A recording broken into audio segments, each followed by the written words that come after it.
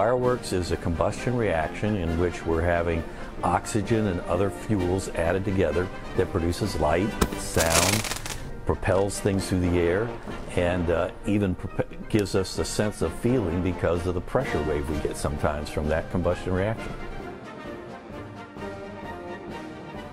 It's a chemical reaction going on that we're able to see, and the fascinating thing about it is that chemistry deals with molecules and atoms that we can't see in that.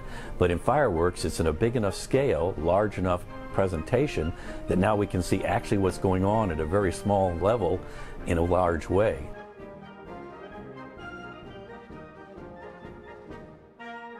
Colors come about because of some basic elements that we know how they will work in that flame chemistry we're talking about, that combustion reaction.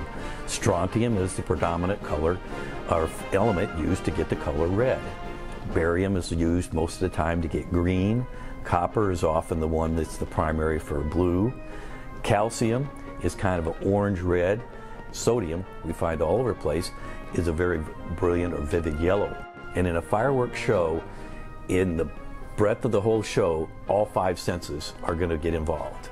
Visually, obviously, sound, uh, you're going to get the noise and stuff like that.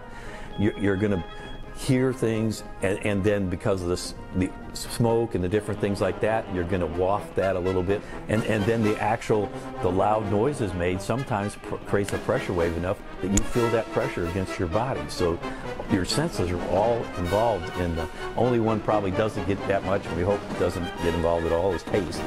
But um, sometimes that smoke in the air and that people pick up on that that way. I think the other aspect that really fascinates me and is really um, vivid about fireworks is that it's really a in-action painting in the sky. Those people that really work with making the craft of a fireworks shell put different components in there with the idea that it gets up there, it's going to present itself in different ways. Sometimes it's a specific pattern. One of the more interesting ones now is they actually get a cube in the sky. So you got a three-dimension pattern created out of a one-dimensional device being launched into the air. And uh, just seeing how that unfolds and what they've done there, I think, is a really fascinating and interesting aspect of fireworks.